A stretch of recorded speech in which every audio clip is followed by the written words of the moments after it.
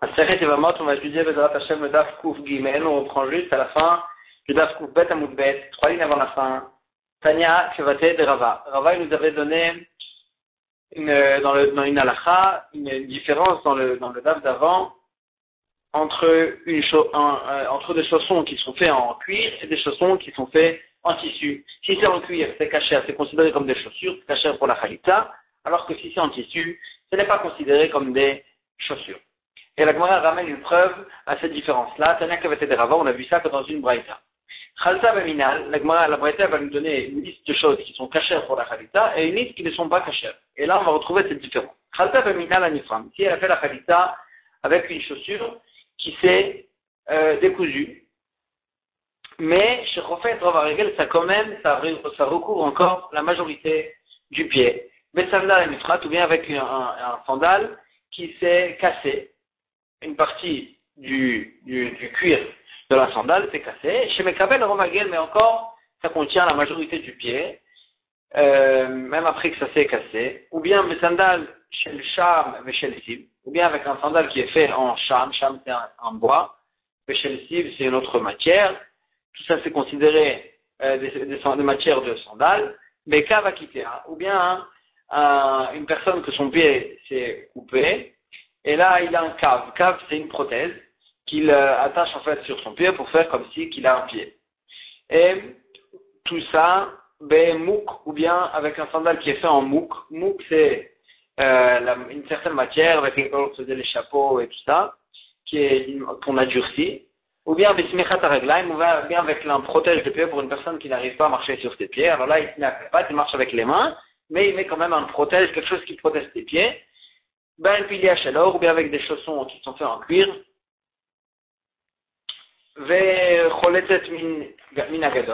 Oui, une yavama qui reçoit, qui, qui, a, qui a fait la khalitza à un gadol, à son beau-frère qui est grand.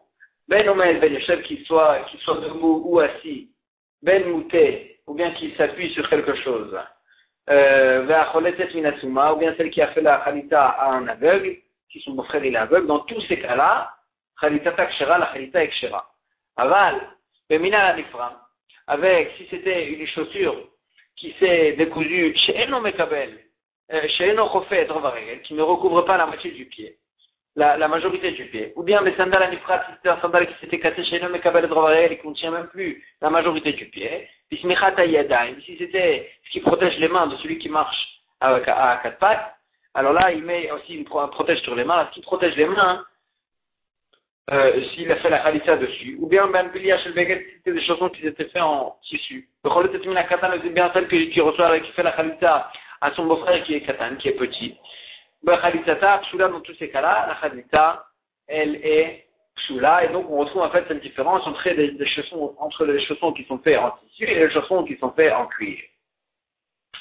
La Gemara, elle s'étonne sur la braïta qu'on vient de ramener. La Gemara, elle dit comme ça. Kavakite amani. Quand on a dit qu'on peut faire la khalita sur la prothèse de celui qui a, qui, qui, qui a pas de pied.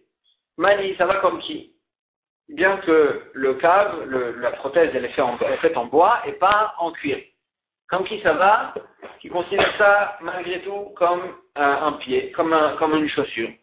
Rabbi Meiri, ça va d'après Rabbi Meir, d'Etnan, au sujet de Maseret Shabbat, au sujet qu'est-ce qui est considéré comme les habits de la personne qui peut sortir avec dans le Rishut Arabi, mais c'est pas considéré comme s'il transportait euh, euh, quelque chose dans le Rishut Arabi.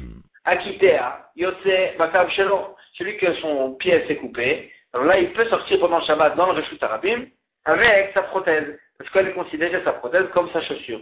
Bien qu'elle est faite en cuir, elle est considérée comme sa chaussure. Livré Rabbi Meir, ça, ça va d'être Rabbi Meir. Rabbi aussi, alors que Rabbi Yossi, lui, est interdit, parce que lui, il pense que toute chaussure qui n'est pas en cuir n'est pas considérée comme sa chaussure, et donc, euh, et donc là, puisque c'est en bois, c'est pas considéré comme chaussure, juste il a quelque chose qui transporte dans le chute. Donc quand il dit ici chez nous que la prothèse, on peut faire dessus la khalita, c'est-à-dire que c'est considéré comme une chaussure bien qu'elle est en bois, ça va d'après Rabbi Meir. Et dans notre côté, pas chez le on a vu que si la chanson elle est faite, elle est faite en, tissu, la khalita elle est sous là, à Banane, ça va d'après les Chachamim, qui sont pas d'accord avec Rabbi Meir et qui pensent que tout ce qui n'est pas fait en cuir n'est pas considéré comme une chaussure. Donc il y a ici en fait une certaine contradiction. Amar Abaye, Abaye répond, Mide Sefa Rabanan, Reshana Merabel. Puisqu'on va, va d'après la Sefa. La Sefa nous dit que si c'est une chanson en, en, en tissu, c'est pas considéré comme une chanson. Ça va d'après Chachamim, qu'ils apprennent qu'une chaussure est faite d'Afka, c'est une chaussure, est considérée une chaussure si elle est en cuir. Et donc, Recha Nami, même dans la Recha, ça va d'après Chachamim. Pourtant, pourquoi dans la Recha on a dit que la prothèse, bien qu'elle n'est pas en cuir, elle est considérée comme une chaussure Mais Recha, on parle d'une prothèse qui est recouverte d'une couche, avec une couche de, cuir, et donc c'est pour ça que ce permet c'est en cuir. Et donc c'est pour ça que c'est considéré comme une chaussure. Amar le Rava, dit à euh, d'après toi, que tout ce qu'on a dit que c'était cachère la prothèse, c'est que si elle est recouverte de cuir. Aval recouvert, mais si c'est pas recouvert de cuir, maï, pas saoul. C'est-à-dire que c'est pas saoul pour la khalita. Yachi, si c'est comme ça, pas quand on a rendu dit dans la Sefa une différence avec le rachat. On a dit, ben, le le c'était une chanson qui est faite en, en tissu, que là c'est pas saoul. On n'avait pas eu besoin d'arriver à ce cas-là pour trouver un cas où c'était pas saoul. Flog, Vedida, on n'avait qu'à faire une différence dans le cas de la prothèse elle-même. Pas mais quand est-ce que la prothèse c'était cachère, mais Mechouper, parce que c'est recouvert de cuir, va être Mechouper, pas saoul, mais si c'est pas recouvert de cuir, c'est pas saoul. Et donc, si c'est vrai que une différence-là, euh, la, la, la, la elle aurait dû la citer, c'est différent. Et la Marava, seulement il dit Rava Bemet, Miderecha Rabbi c'est pas Namir Rabbi Au contraire, on va d'après la Recha. Puisque dans la Recha, on a vu que même si c'était, même les prothèses en bois, elles considérées comme une chaussure, ça va d'après Rabbi Meir, dans ma Sechet Shabbat. Alors c'est pas Namir Rabbi Meir. C'est pas aussi ça va d'après Rabbi Meir, et Bemet, pour, pour que ce soit considéré, euh, Namir Rabbi Meir. Et, euh,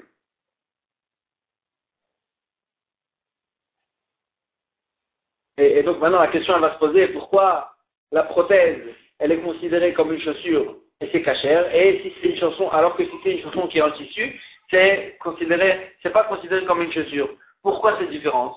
Pourtant Rabbi il pense que même ce qui n'est pas en cuir est considéré comme une chaussure. Donc pourquoi pourquoi la chanson en tissu n'est pas considérée? La réponse elle est. Le la prothèse elle est là, elle protège, elle est en bois, elle protège vraiment le pied mais, mais la chanson qui est en tissu, ça protège pas le pied. Et donc, c'est pour ça que ce qui ne protège pas n'est pas considéré comme une chaussure. C'est vrai que la définition d'une chaussure, n'est pas forcément que ce soit en cuir, comme ce qu'il pense Rabbi Meir, pas comme la vie des Chachamim. Mais quand même, il faut que ça protège le pied. Ce qui ne protège pas le pied, comme par exemple les chaussons en tissu, ça, c'est même d'après Rabbi Meir, n'est pas considéré comme une chaussure et c'est pas caché pour la Khalita. Amar Amemar. Ayman de Khalit, celui qui fait la khalita, le yavam, le, le, yavam, pendant qu'on lui fait la khalita sur sa chaussure, il faut qu'il colle son pied, qu'il pousse son pied sur le parterre, pour ne pas qu'en fait, quand ici il a le pied en l'air, alors là, quand la yavama, elle lui a fait sa chaussure, s'il bouge un peu le pied, c'est lui en fait qui a sorti sa chaussure, c'est pas elle qui lui a sorti sa chaussure, c'est lui qui a sorti le pied de sa chaussure. Donc il faut qu'il colle le pied fort pour le parterre pour ne pas que ça a l'air que c'est lui qui enlève sa chaussure. Amalé la mémoire, Ravashi dit Amar Vatania, pourtant on a vu dans la Braïta, Ben Omed Ben Yoshev, que le Havam il peut faire, il peut recevoir la Khalita, qu'il soit debout ou assis, Ben Mouté, ou bien même s'il est appuyé sur quelque chose, et généralement quelqu'un qui s'appuie sur quelque chose, son pied, il ne tient pas fort sur le parterre. Agma Ema ou l'Olam de Dachit Bemet, il faut redire et expliquer la Braïta, que Bemet, on parle d'un cas où dans toutes ces positions-là qu'il prend, il faut quand même qu'il se débrouille pour que son pied il soit collé par terre, il soit poussé par terre.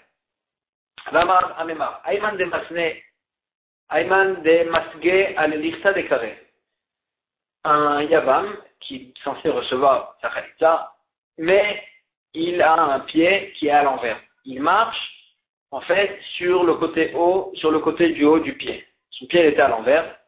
Alors là, la Gemara a dit, le Khalit, il ne peut pas avoir la Khalitza. Pourquoi? Parce que c'est pas considéré un pied à l'envers, n'est pas considéré comme un pied. Et donc, sur un pied pareil, on ne peut pas avoir de khalita. Amar le Rav Ashi, le Amema. Rav Ashi pose la question Amema. Vatanya, smochot araglaim. On a vu dans la Braïta que ce qui protège les pieds, pour celui qui marche en fait à quatre pattes, il n'arrive pas à marcher sur le pied. Son pied, ses pieds, ils sont euh, déformés il n'arrive pas à marcher sur les pieds, donc lui il marche à quatre pattes. On avait dit qu'il met quelque chose quand même qui protège ses pieds pour ne pas qu'ils se salissent. Et on avait dit qu'il peut faire la khalita dessus.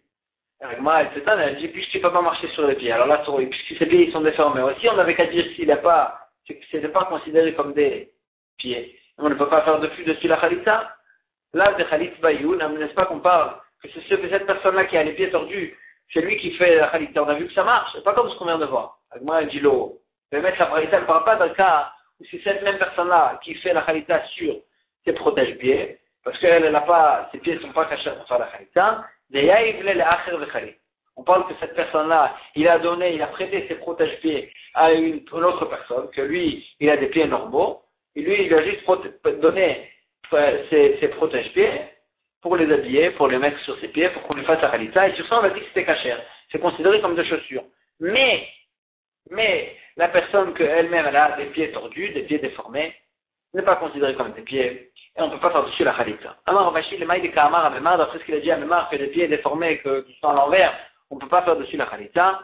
Alors là, l'Av Bar Uva Khalit, c'est l'Av Bar Kipov Khalit. Deux personnes qui connaissaient, un il s'appelait Bar Uva et un il s'appelait Bar Kipov. Ces deux-là, ils avaient les pieds à l'envers. Alors là, ces deux personnes-là, ils ne peuvent pas faire la khalitza. On retourne sur la Mishnah, on a vu Minav Uva ou les matins, on a vu dans la Mishnah que euh, la khalitza, si elle a été faite euh, en dessous du genou. Alors là, c'est cachère. C'est-à-dire même une personne que son pied s'est coupé, mais il lui reste quand même en dessous du genou. Le genou lui-même, il peut faire dessus la khalita, mais euh, au-dessus du genou, si le genou aussi est coupé, et juste il reste la partie d'au-dessus du genou, la cuisse, sur, de ça, sur ça, il ne peut pas faire la khalita. Et euh, donc on voit en fait que même le, le genou est appelé en fait regel. C'est appelé le pied du fait qu'on peut faire la khalitza dessus. La Gemara elle s'étonne. Pour Mini, on, ramène dessus une, une, une, une, objection dans laquelle on voit que le genou n'est pas considéré comme un pied. Urmini, il y a écrit au sujet du temps du Batamikdash, de la lia la régel, il y avait le mitzvah de montrer Batamikdash pendant les trois chalosh regalim. Et la Bretagne nous dit la base régalim, régalim, les fêtes, les trois fêtes. Ça vient nous dire, ça vient nous apprendre, c'est que quelqu'un qui marche sur ses pieds, qui a le chiyuv, la mitzvah de, monter au Watamikdash. Prat, les bas, les cabines, ça vient exclure ceux qui ont les pieds coupés et qui marchent sur des prothèses. Et, euh, et ceux-là, ils sont pas, ils sont considérés comme des gens qui n'ont pas de pieds. Et donc on voit que même ceux qu'ils ont quand même le genou.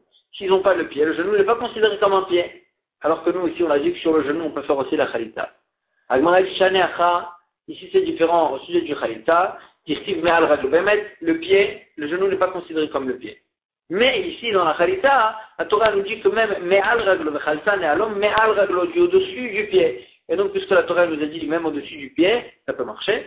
C'est pour ça que on peut faire la khalitza même sur le genou. Mais Béhémet, c'est pas considéré comme un pied, c'est considéré comme au-dessus du pied. Alors a dit, Yahi, si même au-dessus du pied c'est caché, le malamina kuvanami. On peut, on aurait pu faire la khalitza même sur la sur le, l'étape du dessus, même sur la cuisse elle-même. Agma a dit, euh, Yahi, le malamina kuvanami. Agma a dit, me'al, me'al. Le nous dit qu'un cran au-dessus du pied, mais pas deux crans au-dessus, mais pas au-dessus du dessus. C'est pour ça que sur le genou c'est caché, mais quand on monte encore sur une partie au-dessus, là, ce sera pas soul. Amar papa, Rafapa et Dishmamina, Aïe, puisqu'on a dit que c'est qu'un cran au-dessus, c'est cachère. Alors là, ici, tu peux déduire quelque chose d'intéressant. Aïe, Istavira, le, l'os du talon, Adaranachit. Il, euh, il va jusqu'au parterre, et ça veut dire qu'en fait, il est rattaché au, au, aux, os du pied le talon et le pied, c'est considéré comme un seul et même, euh, un seul et même, euh, euh un seul et même euh, membre, un seul et même os.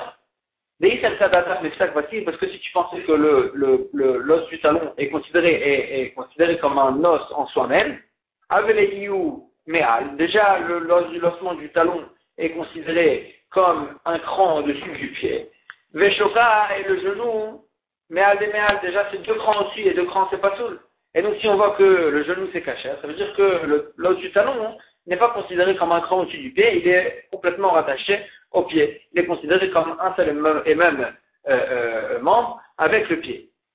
Et la Gemara, elle repousse et elle dit, Amara Même si Bemet, tu veux dire que le talon, il est, il est, pas attaché au pied, quand même, on ne considère pas le genou comme deux crans au-dessus. Pourquoi? Kol de Beade Karak Karadavi.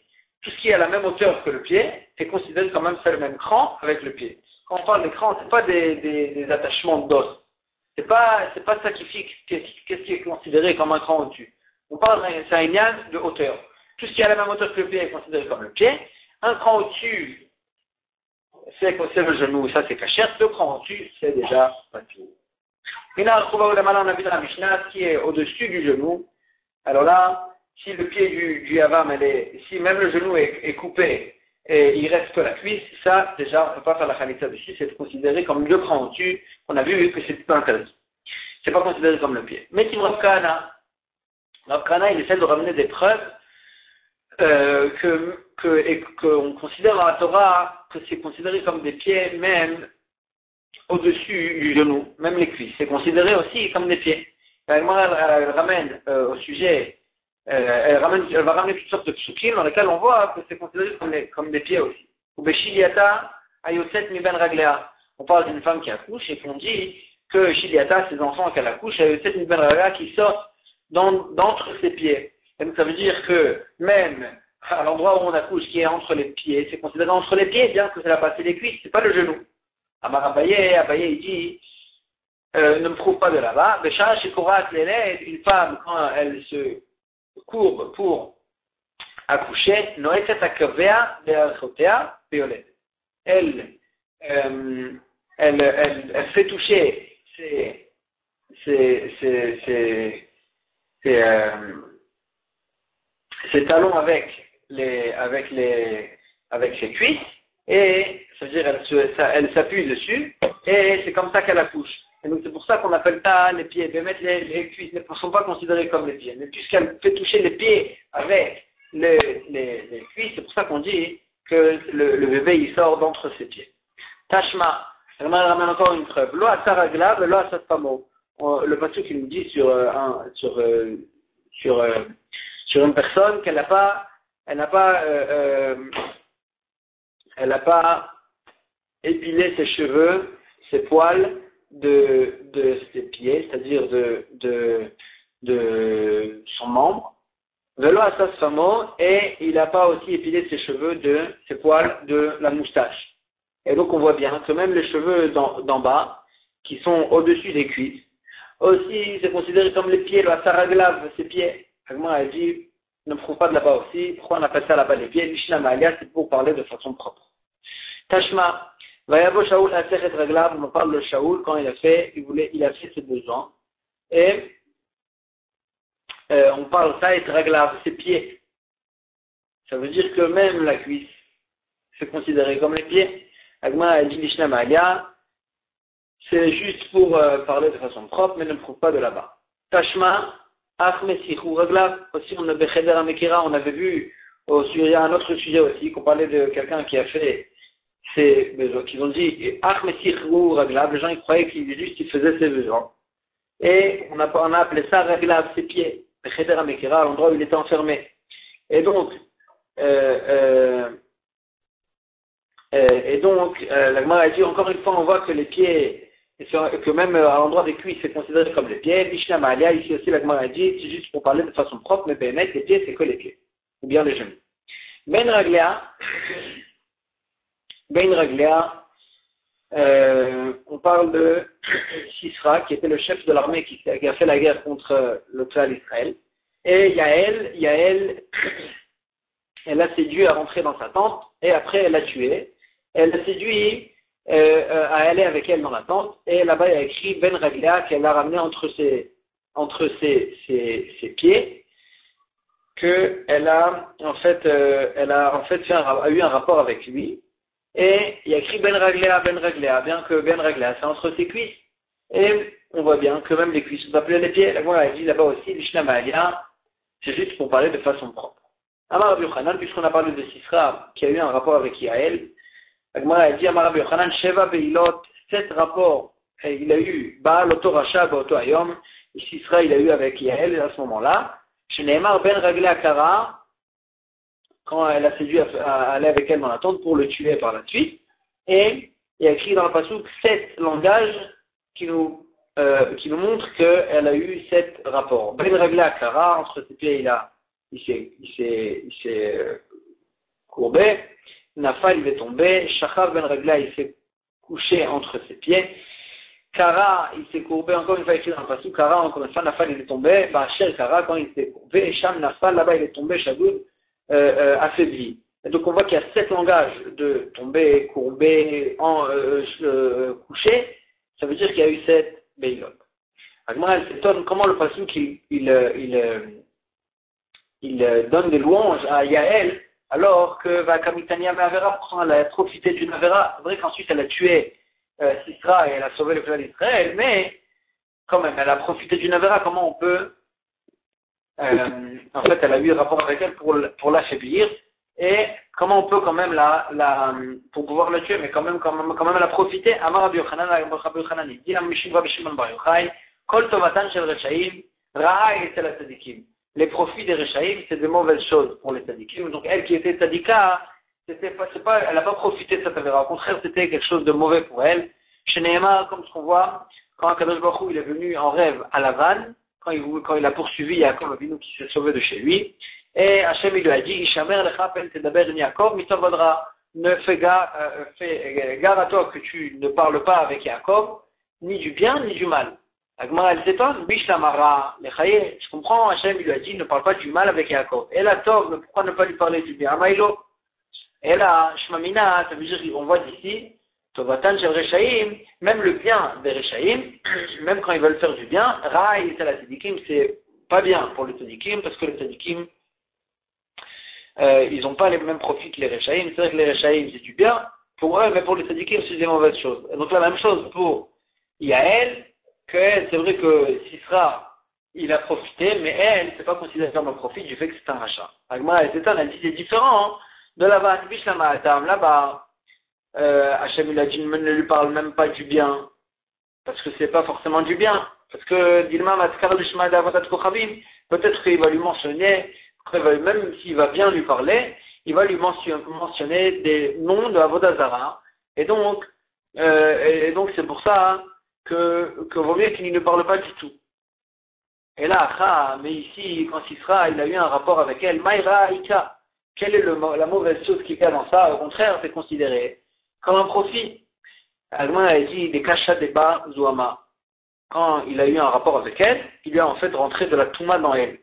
Comme ce qu'il a dit Rabbi Yochanan, Sheba Nachash al Chava. Quand il est venu le premier serpent et il a séduit Chava, la femme de Adam Arishon, de manger du fruit interdit. Et il. Il a rentré dans elle de la touma de la Touma, qui est le Yetzerara, etc.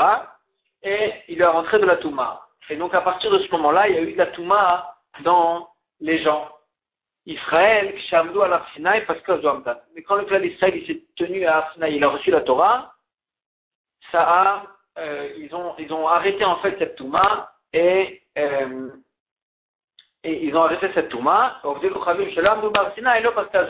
les Goïms qui ne sont pas tenus à Sinaï, ils ne sont pas reçus la Torah, leur Touma a continué, et donc leur Yeter, il est encore plus fort que, que le clan d'Israël. Et donc là, quand Israël est venu et il a eu un rapport avec elle, il lui a rentré dans elle sa Touma, et donc c'est pour ça que c'est considéré comme, c'est pas considéré comme un profit pour, au contraire, c'est considéré comme un malheur pour, pour euh, Yael. Donc c'est pour ça que la Torah, elle, elle, donne des louanges à cette, à cette Yael qui était une syndicat et qu'au contraire, elle n'a pas profité de cette affaire Au contraire, elle a reçu des mauvaises choses, ça, mais elle a quand même sauvé le peuple d'Israël.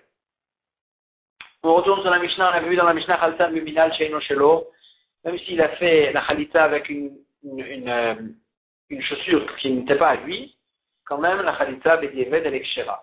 Tanora Banan, Naalo, la Torah nous dit Naalo sa chaussure. En la Naalo, je ne sais que ce que la Khalita, etc., que si c'est sa chaussure qui lui appartient. Nal, j'ai le Adam D'où je sais que même la chaussure de n'importe de toute autre personne aussi, la Khalita, etc.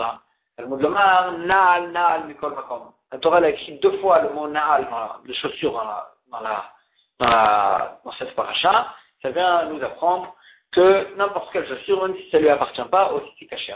Nalo. Si c'est comme ça, pourquoi la Torah nous dit Nalo, sa chaussure, il n'y a pas besoin de nous dire sa chaussure, si même si ce n'est pas sa chaussure, quand même c'est caché. Ça va quand même nous apprendre Nalo Araouilo. Nalo, ça va nous apprendre, il faut quand même que ça soit une bonne chaussure pour lui.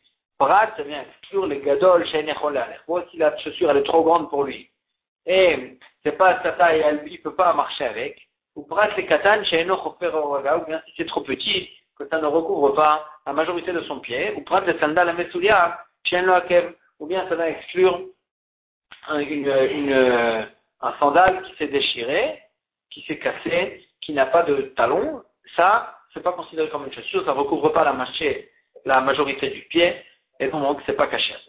Abaye, Mal raconte, Avakae Kamed Rav Yosef, il était assis, il était debout, il était devant Rav Yosef, debout devant Rav Yosef. Ataï Yevama est venu Yevama avec un Yavam pour faire la Khalitza Lachlot.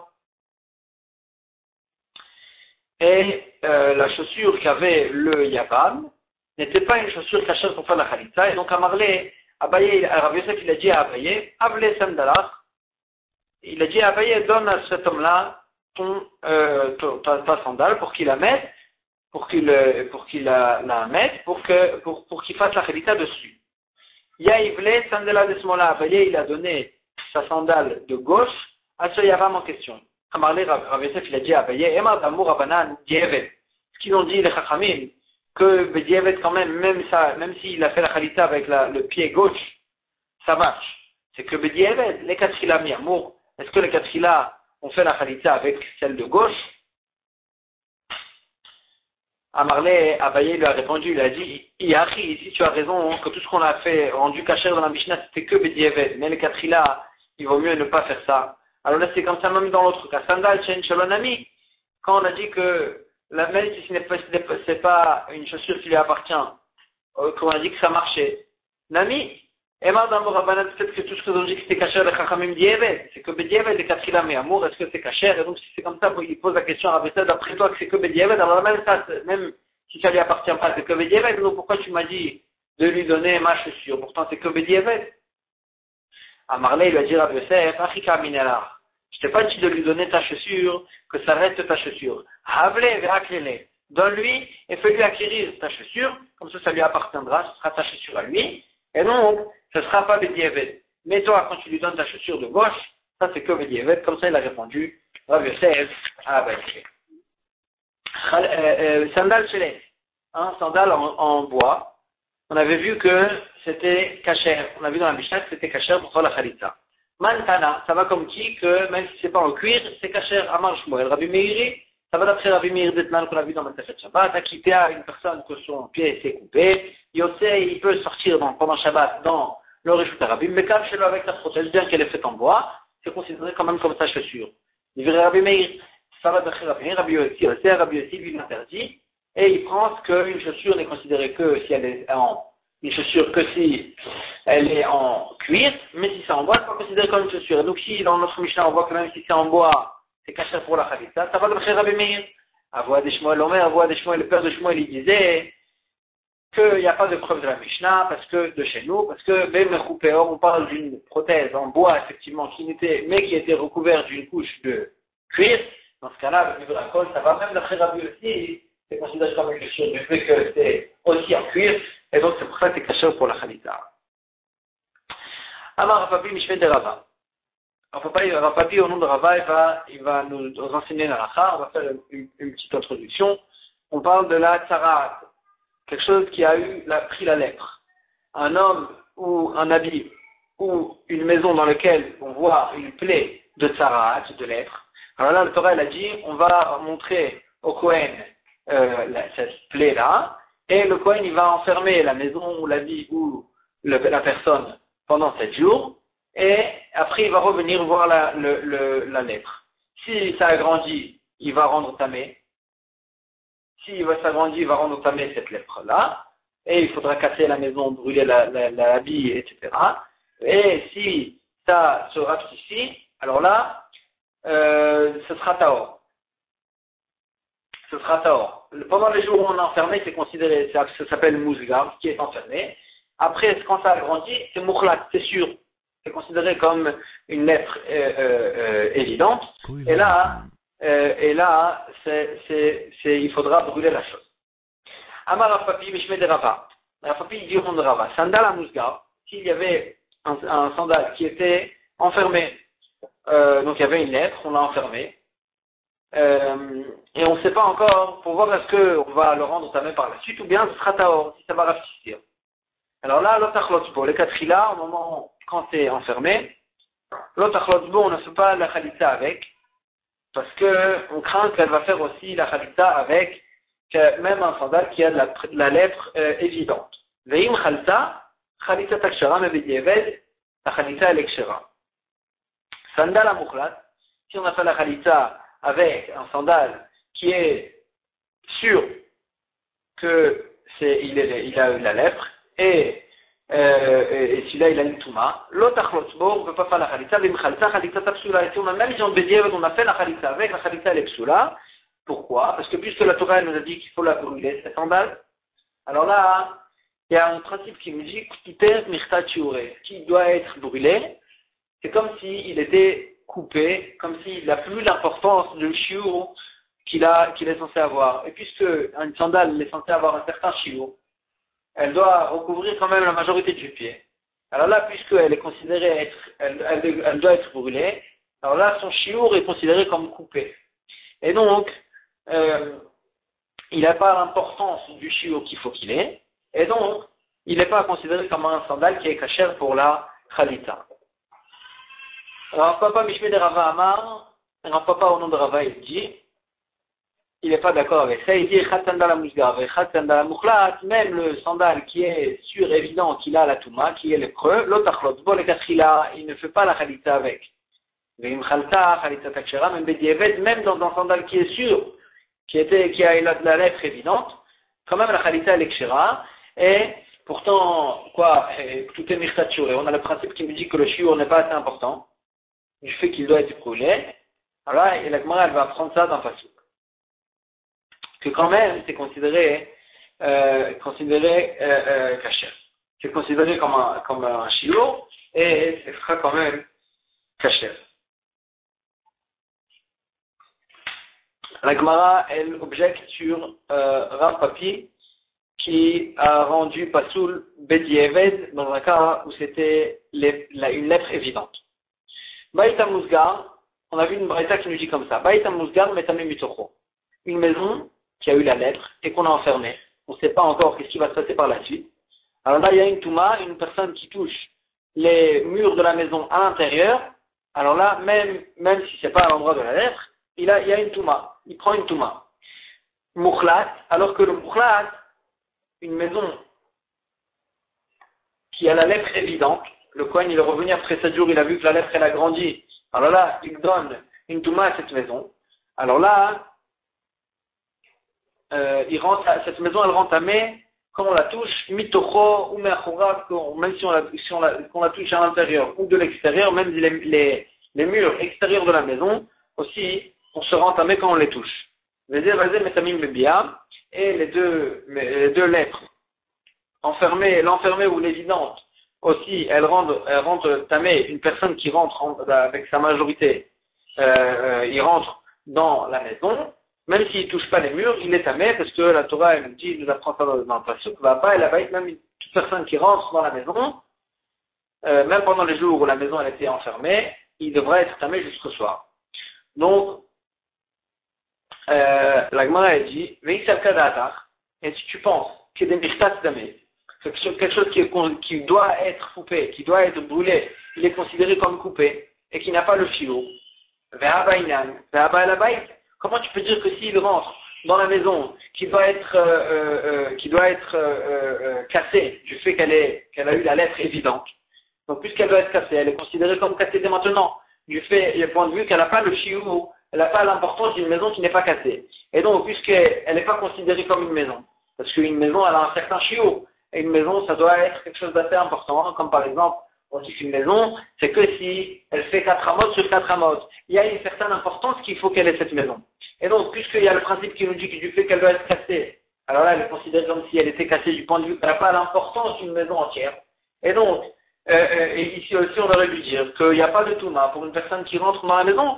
Pourquoi? Parce que la Torah nous dit, va bail avec une personne qui rentre dans le bail, dans la maison. Veleka est ici. Il n'y a pas l'importance d'une maison, du fait qu'elle est considérée, qu'elle doit être cassée. Donc, dès, maintenant, même avant qu'on l'ait cassée, elle n'a pas l'importance d'une maison qui n'est pas cassée. Et donc, pourquoi tu dis qu'une personne qui rentre à l'intérieur prend une touma?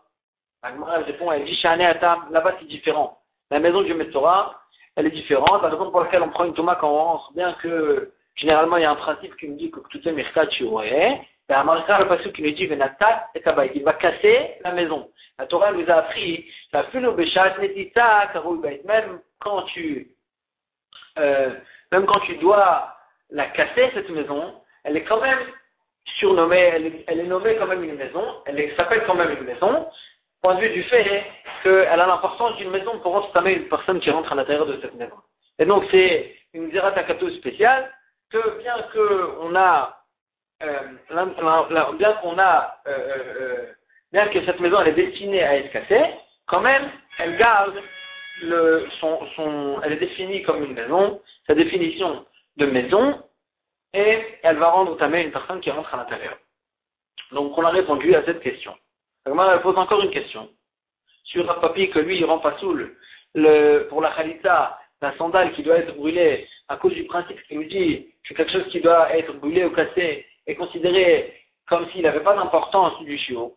Elle est considéré comme coupé dès maintenant. Et un sandal qui est coupé n'est pas caché pour la khalita. Elle ramène une, une, preuve contre Tashma. On a appris dans la ça. Matlit, matlit c'est un tissu qui a euh, la, mesure de trois doigts sur trois doigts. C'est à partir de cette mesure-là, c'est considéré comme euh, ça peut être considéré comme, euh, euh, ça peut être défini comme un habit. Et c'est apte à recevoir la touma. Donc si un tissu de trois doigts sur trois doigts a la lèpre, il y a dessus les lèpres, la lèpre, même si n'a pas, il pèse pas un kazaït, parce que les fils sont fins,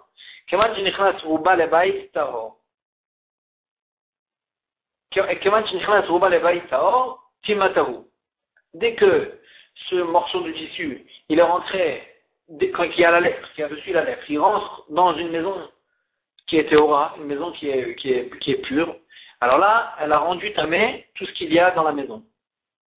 Comme la fin qu'il y a, qu'un habit qui a la lettre, il rend tamé tout ce qu'il y a dans la chambre dans laquelle il est.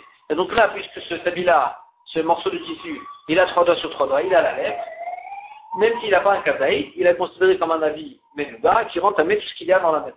Maïlav mukhletet, n'est-ce pas qu'on parle même d'un tissu qui est, euh, qui est avec une lettre évidente, pas au moment où c'était juste enfermé, c'était une lettre évidente. Et quand même on voit que, et quand même on voit qu'elle ne perd pas son importance du fait qu'elle doit être brûlée. Pourtant, donc on voit une preuve d'ici, qu'on ne dit pas que, ça, que, du fait que ça doit être brûlé, ça perd son importance. Et donc la même chose chez nous dans le cas de la sandale. C'est vrai que la sandale qui a la lettre doit être brûlée, mais elle ne perdra pas son importance du fait qu'elle doit être brûlée, et on pourra faire la qualité dessus. Et donc c'est pas comme là, ce qui nous a dit Rafapi, a dit l'eau, On parle du, de, de, d'un tissu à l'étape où il doit être juste enfermé, que celui-là, il n'est pas forcément destiné à être brûlé. Et donc lui, il rend ce qu'il y a dans la maison, du fait qu'il n'y pas, il a pas dessus euh, le principe qui nous dit que tout est mirta chiuré. Moi, il dit, si c'est comme ça, qu'on parle d'un habit, d'un tissu à l'étape où il est juste enfermé, et pas d'un habit, d'un tissu qui a la lettre évidente. Et ben, c'est pas regarde ce qu'il a écrit dans la fin de cette braïda. S'il y avait kamakazetim, si dans ces morceaux de tissu, c'était des fils épais, et il pesait, il avait le, poids de plusieurs euh, kazatim.